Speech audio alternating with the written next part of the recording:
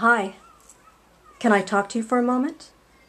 You're not a Blacklander, No, but I'm interviewing Blacklanders. and this was approved by the proper authorities? Of course. No one told me about it. Well, you come highly recommended. Everyone says if you want to learn the truth, just ask Meres. All right, ask your questions. I can spare a few minutes. Okay, thanks. First of all, what does your name mean? She loves. And what can you tell me about Blacklanders? We are citizens of the Black Land. It's as simple as that. And why do you wear the same eye makeup? Why do men and women wear the same eye makeup?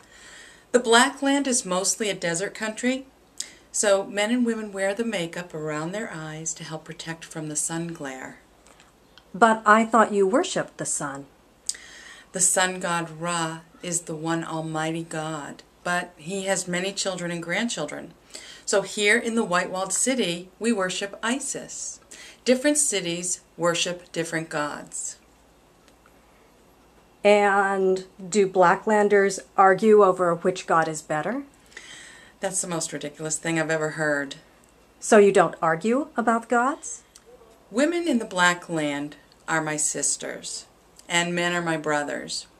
So I trust them to choose the right gods for them. And you choose Isis? Yes. What is it that you like about Isis?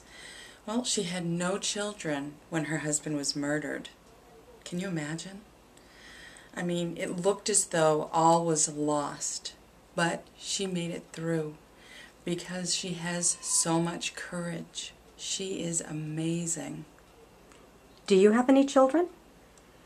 No. So Isis must have understood what that feels like. I think so.